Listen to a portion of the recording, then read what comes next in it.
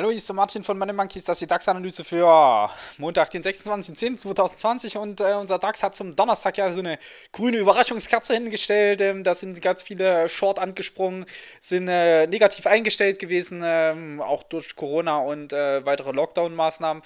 Und ähm, ja, der DAX hat so eine Konterkerze hingestellt, weswegen wir gesagt haben, man muss schon ein bisschen aufpassen, das gibt schon eher mehr Chancen nach oben raus und äh, gucken Sie sich das Gesicht an. Da, hat er, da, da hat er Spaß dran gehabt, ähm, die Leute ein bisschen vorzuführen.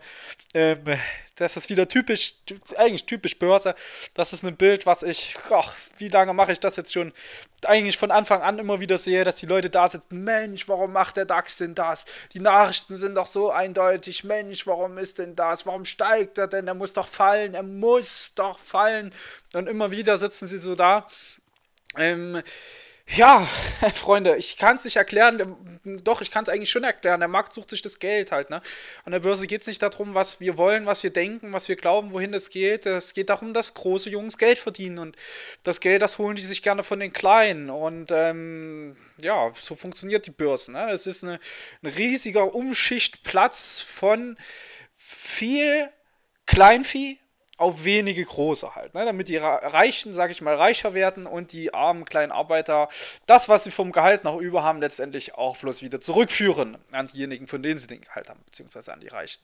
Ja, also das so ein bisschen die, die, die, der Grundgedanke und als Inspiration einfach nochmal dahinter, weil ich merke, dass da viele immer wieder mit dem Kopf einfach gegen die Wand wollen ähm, und meinen, sie sind schlauer als der Markt und ähm, wissen ganz genau, wie der Markt denn eine bestimmte Situation interpretieren muss, vergessen dabei aber nach wie vor immer wieder, dass, dass es dem Markt gar nicht darum geht, ähm, zwangsweise äh, die Kerngedanken aufzugreifen, die man selber hat. Dem geht es darum, dass er mehr Geld transportiert von A nach B und dazu kann er fallen, dazu kann er steigen. Er hat die Mittel jeder Wahl, hoch wie runter. Er kann sich frei bedienen, er kann auch seitwärts einfach runter, wenn die Leute Ausbrüche treten. Das heißt, es, es hilft uns nicht so ranzugehen, es hilft uns eher zu sagen, okay, was macht er denn üblich, wie sind typische Muster, deswegen machen wir jeden Tag diese Chartanalyse, um für den Tag etwas festzulegen. Das bezieht sich natürlich auch nur auf den Tag dann immer, ne? das heißt, was wir gestern erzählt haben, müssen wir dann heute auch wieder überprüfen, müssen hinterfragen, was haben wir hier gesehen, was haben wir äh, erwartet, wie hat sich der Markt geschlagen, was hat er uns gezeigt, wie gehen wir jetzt vom nächsten Tag aus. Und dann denken wir Tag für Tag, ziehen hier unsere Punkte raus, verdienen damit unser Geld und äh, erfreuen uns dran, dass andere Leute nicht verstehen, warum sie denn da Geld verlieren, während wir uns das Geld letztendlich dann einfach holen können. Wenn wir mal zurückblicken auf den Freitag, was haben wir gesagt? Wir haben eine starke Umkehrkerze drin. Wir haben gesagt, es hätte eigentlich für den DAX jetzt schon Charme, nach oben zurückzulaufen. Er solle nicht mehr unter die 500 zurück, ne? ein kleiner tieferer Start zwischen 550, 500, das wäre üblich gewesen zum, zum Freitag. Von dort können er sich dann hochschieben. Wenn er über die 600 drüber geht, sollte er dann die 12, 700 bis 37 erreichen. Ich hatte gesagt, das ist ein sehr, sehr schöner Bereich hier, aus dem der Markt dann wieder nach unten abdrehen kann. Vielleicht auch nochmal auf die 600 drauf, auf die 640 drauf. Und dann müsste man schon gucken, das wäre so ein bisschen das Programm gewesen. Hätte er übertrieben, hätte er weiter durchgedrückt, wäre dann die obere Kanal Kante hier bei 860 dran gewesen. So, und wenn wir jetzt da gucken, sind wir mit der Interpretation oder Herangehensweise auf jeden Fall eine zehnmal besser gelaufen, wie als hätten wir gesagt, boah, Freitag eh, weitere Lockdown, mehr Corona-Maßnahmen und so weiter, ich gehe jetzt nur noch Short hätte man sich nicht unbedingt einen Gefallen getan. Ne? Ähm, das soll jetzt nicht heißen, dass sie nicht short gehen dürfen, weil da, äh, wenn, die, wenn die Nachrichten da schlecht wären und so weiter, man merkte schon eine gewisse Unruhe im Markt. Aber ich bin ja ganz klar der Meinung, also wir traden, wir traden gerne short und wir traden gerne long, aber wir nehmen die Short-Marken halt auch erst, wenn sie kommen halt, ne? Und wenn die Signale kommen und dann müssen, muss man, nicht nur sie, sondern auch ich, muss man einfach aufpassen, dass man das nicht zu sehr vermischt einfach, diese Nachrichten und alles, was man rechts und links reingetrichtert kriegt. Das hilft einem man doch nicht. Ne, wenn man auch im Tageschart guckt, und das, das erzähle ich Woche für Woche für Tag und für Tag und trotzdem wird mir das immer wieder gegen den Kopf geworfen. Ne, so nach dem Motto, ja Martin, meinst du, der fällt jetzt nochmal 3000 Punkte, wenn jetzt wieder Lockdown kommt? Hier ist Lockdown gekommen. Was hat der Markt daraufhin gemacht? Er ist nur gestiegen. Hier haben die meisten Leute das Geld verloren. Hier und hier. Das waren die zwei Punkte, wo alle Geld verloren haben im Trading-Umfeld. Warum? Weil sie gesagt haben, der Markt muss fallen. Hat er nicht getan. Was haben sie gemacht? Sie haben sich gegengestellt. So, und das ist Gift. Das ist gefährlich. Ne? haben sie mal lieber ein bisschen die Wahl noch im Hinterkopf, ne? haben sie da ein bisschen im Hinterkopf, dass vor einer Wahl auch gerne mal angezogen wird, ne? dass er mal gerne noch mal ein bisschen nach oben sticht vor einer US-Wahl, ne? dass, es sich, dass sie sich hoch reinlegt vorm, vorm Wahlkampfwochenende, ne? nochmal so eine Euphoriestimmung, versucht den Bark ein bisschen ähm, rauszunehmen, damit die Leute eben ein bisschen sehen, ja, vielleicht ist es gar nicht alles so schlimm, wie ich es wahrnehme. Vielleicht ist es ja okay, wenn der Markt jetzt hier ruhig ist und stabil ist. Ne? Und das ist ja, das ist einfach typisch. Also von daher, ähm, wir sind auf der Short-Seite wie jeden Tag auch bitte. Sensibel. Wir sind, wir, wir, wir schauen uns an, an welchen Punkten kann der Markt denn wegbrechen, an, an welchen Punkten liefert der Verkaufssignal und dort gehen wir Short. Aber auch erst, wenn der Markt diese Signale bestätigt. Nicht, wenn ich in Nachrichten wieder neue Corona-Zahlen lese. Das ist wichtig. Und das ist gerade wichtiger denn je, weil ich merke, dass momentan sehr, sehr, sehr viele hier schon wieder anfangen, richtige Fehler zu machen. Ja, und das fing, fing, fing am Donnerstag an. Das fing am Donnerstag an, dass alle plötzlich Short wollten. Und mir geschrieben haben, oh, Martin, ich habe jetzt hier Short aufgebaut. Meinst du, Stop Loss da ist ausreichend, da ist ausreichend. Die haben alle hier unten aufgebaut. Ne, halt, ich gehe in den 2-Stunden-Chart. Alle hier unten haben sich Short drin aufgebaut. Ne, in der Kerze. In der Kerze haben ganz, ganz viele Private jetzt Shorts gesucht, Absicherung für ihre Aktiendepots wegen Corona. Ja, und da sehen sie doch schon direkt, dass da was nicht passt halt, ne? Der Markt läuft nach oben seitdem. Ja, also da wirklich ein bisschen gucken Sie das, wenn Sie, wenn Sie shorten wollen und wenn Sie denken, die Nachrichten sind schlecht und der Markt fällt, achten Sie darauf, dass Sie dann entsprechende Umkehrsignale einfach auch erst kriegen. So, warten Sie mal kurz, muss mal kurz ans Telefon, geht gleich weiter. Und da habe ich natürlich völlig den Pfad verloren. Ja, ist egal. Also, wo sind unsere Shortmarken? Wo sind die Bereiche, an denen es sich äh, es lohnt zu shorten? Ich würde ganz klar sagen, die Bereiche unter 600 ist jetzt ein erstes Verkaufssignal-Trigger. Der reicht aber erstmal nur bis an die 500 ran. Das ist eine Unterstützung, das bleibt eine Unterstützung.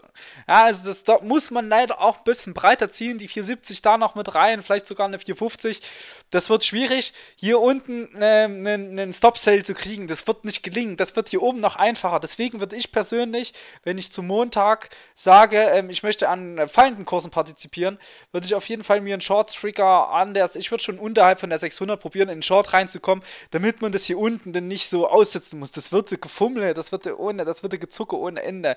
Würde mich nicht wundern, wenn er 8 Uhr hier runterzieht, vielleicht unter der 600 dann reingeht ähm, und wir dann hier 9 Uhr schön drauf rumdrehen treten auf der 500, auf die 4, 470. Für den Fall, der Markt fällt überhaupt halt, ne? Ähm, wenn Sie mich fragen, wenn Sie mich fragen, würde ich tatsächlich ganz äh, sogar eher noch davon ausgehen, dass wir Montag, Dienstag noch einen Bogen machen über 800, 900, bis die Leute sich so ein bisschen wieder abgeregt haben, ne, bis das Corona wieder ein bisschen selbstverständlicher wird, auch am Markt, und dass er dann hinten raus nochmal flatscht und durchaus auch nochmal ähm, Richtung Donnerstag, Richtung Freitag ähm, nochmal an die, an die 200-Tag-Linie vielleicht sogar ran kann. Ähm, das wäre zwar leichter, wenn er das gleich direkt probiert, aber ich könnte mir das gut vorstellen, dass er oben nochmal durchsteht. Gucken Sie mal, was er letzte Woche gemacht hat, Montag halt. Ne? Da hat er auch nochmal nach oben gestochen und das war nicht wenig. Das waren knapp 100 Punkte, das waren über 100 Punkte. Ne? Das war ja so eine Xetra-Kerze, die, glaube ich, alleine im M5 eine 100 Minuten Kerze äh, eine 100 Punkte Kerze gemacht hat hier. Sowas in die Richtung, das würde auch hier nochmal reinpassen in den Bereich um 12800, 12830 liegt jetzt hier schon der Channel. Ich, bei, für mich bleibt die 12860 weiter wichtig.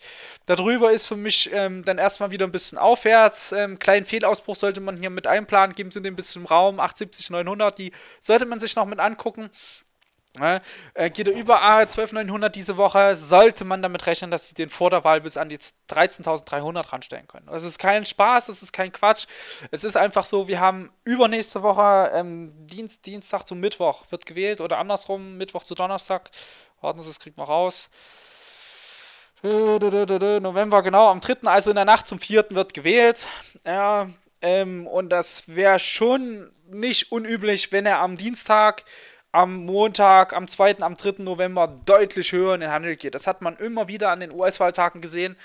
Ähm, was er bis dahin macht, ist jetzt noch ein bisschen offen, aber ähm, man sollte schon im Hinterkopf haben, dass er da hoch, hoch reingehen kann ins Rennen halt. Ne? Äh, sehr typisch zum Beispiel. Also auf jeden Fall, ist typisch für eine US-Wahl, dass es den vorher hochzieht. Auch den DAX. Auch wenn er, wenn er nicht gewählt wird. aber den DAX trifft das trotzdem. Ansonsten, das hier oben hat ganz gut reagiert. Die kann auch noch ein zweites Mal halten. Ähm, liegt einfach daran, dass wir an der Marke nicht richtig dran waren. Wir waren an der, 420, äh, der 27. Wichtiger ist die 725, also eigentlich die 725, die 37. Das ist hier der Knackpunkt an der Zone von hier. Deswegen könnt ihr da nochmal reintreten.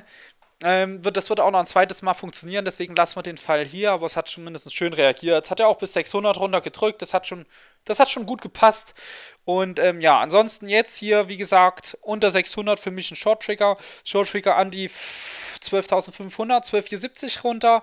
Und darunter wird es dann erst wieder richtig shortig, wo man dann auch sagen kann, ja, hier hier, sind, hier ist Eskalationsspielraum, ne, und den würde ich dann durchaus Richtung 370, Richtung 340 nochmal sehen und darunter dann natürlich tiefer Richtung 200 Taglinie. Ne, bloß bedenken Sie, das ist momentan für viele zu selbstverständlich, dass der Markt jetzt fallen muss. Mit Corona funktioniert halt so nicht. Ne, das letzte Mal, als das so selbstverständlich war, das war am Tageschart hier unten gewesen. Das war nicht die Bewegung hier. Hier war es nicht selbstverständlich, dass der Markt weiterfällt. Hier war es für alle selbstverständlich, dass der Markt weiterfällt. Hier haben alle mir jeden Tag geschrieben, dass sie Short-Positionen aufgebaut haben. Hier haben mir alle geschrieben, was sie denn für tolle Ideen haben, wie weit der Markt noch fallen kann. Hier nicht. Hier haben alle gesagt, das ist übertrieben, das ist doch nur Schnupfen, das muss doch gleich wieder steigen. Hier haben alle Long gegengehauen, sind hier unten alle aus dem Long raus, sind hier Short rein und haben hier Short aufgebaut. So ist es gewesen im Privatsektor, im äh, Gehebelten. Und das ist kontraindikativ. Ne, deswegen hier auch kurz auffassen. Wir haben ja auch hier gesagt, in der Stelle, ne, hier, ab hier ging es auch wieder los, ganz viel ihre Short-ETFs verkauft, ne, ganz viel ihre Short-ETFs verkauft und auf Long gewechselt. Ne, und jetzt ist hier so ein Punkt, wo ganz viele schon wieder anfangen, sich drehen zu wollen. Also bin ich sehr gespannt, ähm, wie, wie sich das zeigt. Kommen rote Kerzen, gehen wir mit, natürlich ohne Frage kicken wir die 600 nach unten raus, können wir auch shorten, gehen wir unter 500 auch. Aber wenn er weiter grüne Kerzen nach oben zeigt, geben Sie ihm Raum, dass er sich bis 13, 200, 13, 300 nochmal entfalten kann. Gucken Sie im Tagesschatz, es ist eine Umkehr. Die Stochastik drückt von unten hoch. Das heißt, wenn der Markt Ihnen einen Mittelfinger ins Gesicht zeigt und sagt, mich interessiert das halt nicht, was das für Zahlen bei Corona sind, dann denken Sie nicht, dass Sie schlauer sind und meinen, dass der Markt das fehlinterpretiert. Das wird so nicht funktionieren. Dann macht sie nackig. Dann macht sie kaputt. Na, also lieber hinstellen und sagen, gut, okay, ähm, bisschen Neutralität im Kopf äh, schaffen, sich öffnen, auf Long und auf Short-Seite, ganz egal wie die Nachrichten sind, einfach neutral rangehen, Tag für Tag, immer wieder versuchen, das Gleiche zu machen, ganz egal wie die Nachrichten sind. Der Markt wird die Nachrichten beachten, wenn sie ihm wichtig sind. Und wenn nicht, oder wenn er sie gar positiv aufnimmt, was sie negativ interpretieren, dann läuft er weiter hoch. Ja, das heißt, in dem Sinne, wenn der DAX weiter oben drückt und er drückt sich weiter hoch, dann geht er weiter hoch und dann muss man da halt auch einfach noch ein paar Punkte versuchen, long mit rauszunehmen. Das nützt einfach nichts. Sie gewinnen keinen Blumentopf, wenn sie sich gegen den Markt stellen. Ja, so, dann haben wir das. Unten oben, wir haben die, wir haben über die 1237, wir haben über die 12700 gesprochen. Das ist nochmal wichtig. Wir haben über die einzelnen Etappen gesprochen. Ich mache hier sogar mal einen anderen Pfeil dran. Ich mache hier sogar mal so einen dran. Das ist, ich, ich kann mir das gut vorstellen, dass er da unten rumfuchtelt und hochdrückt und erstmal antäuscht und wieder wegzieht. Das kann ich mir sehr, sehr, sehr gut vorstellen, dass der hier rumblödelt. Ne? Vielleicht auch, wenn er 9 Uhr da unten reinkommt. Und äh, Ansonsten, wenn Schwäche kommt, nutzen Sie die, gehen Sie gerne mit, auch wenn Sie für Corona denken, dass er weiter fällt. Aber wenn er sie weiter nach oben auslutscht, ja, vorsichtig, vorsichtig. Ja, also hier oben geht er über die 27, 37 wäre der nächste Anlaufpunkt 800. Ja, ganz genau, die 800 wäre dann nächster Anlaufpunkt. Und das ist zum Montag erreichbar. So wie der sich auch gedreht hat, auch erreichbar. Wenn jetzt kein gravierendes Abwärtskipp reinkommt, wenn er nicht unter 610, unter 600 in den Handel reinstartet. Ich weiß, die Wochenendindikation steht da gerade, aber die steht auch schnell wieder anders. Ne? Wenn er auf dem Niveau reinkommt, 660, 670, könnte ich eigentlich schon fast relativ sicher sein, dass wir A, erstmal die 37 nochmal sehen und im Tagesverlauf zum Montag vielleicht dann sogar 800 bis 860. Warum nicht? Ist drin. Ja? Corona hin oder her, wichtig ist, wie der Markt damit umgeht. Und er muss fallen, er muss unter die 600 und er muss unter die 500 auch noch. Dann kann er sich wieder Platz schaffen und durchtreten. Und wenn lange rote Kerzen kommen, shorten wir den gerne. Aber hüten Sie sich davor, in die langen grünen Kerzen drin rumzushorten. Ja, also da wirklich aufpassen. Das ist ungesund. Das ist gegen den Trend gehandelt. Ja, und da nützt es auch nicht, dass Sie sich Gedanken machen und ähm, versuchen, Nachrichten zu interpretieren versuchen Sie lieber den Trend zu analysieren und zu interpretieren. Ja, und wenn der nach oben drückt, drückt er nach oben. Okay, ich denke, die Botschaft ist angekommen. Dann würde ich jetzt hier Video zumachen. Äh, drücke Ihnen die Daumen, dass Sie was rausgezogen kriegen. Hoffe, dass ich Sie ein bisschen vielleicht neutralisiert bekommen habe. Halt, ne? Also, das ist einfach nicht, nicht gesund. Ja? Wir können jeden Tag shorten, wenn der Markt fällt, wenn der Markt Short-Signal antriggert. Dann gehen wir mit. Na klar. Ne? Aber man darf, auch, man darf nicht jeden grünen Tag gegenfeuern. Halt. Das ist auch nicht gesund. Ja? Also, wir gucken mal. Ich denke, wir sehen den. Ich, ich kann mir schon vorstellen, dass wir nochmal unten rumschnarchen. Aber mich wird es nicht wundern. So wie, viel, so wie die vielen, meisten momentan drauf sind, wird es mich nicht wundern, wenn wir vielleicht sogar hier rumschruppen und zur Wahl hier oben stehen. Das wird mich nicht wundern. Das würde mich einfach nicht wundern, so wie die Leute momentan wieder agieren. Und das ist einfach emotional getrieben, was die meisten machen. Und das ist kontraindikativ. Punkt. Ende aus. Da muss man gar nicht mehr argumentieren und das ist einfach so. Punkt. Gut. Also, erfolgreichen Wochenstart. Gutes Gelingen. Wir hören uns morgen wieder. Ciao.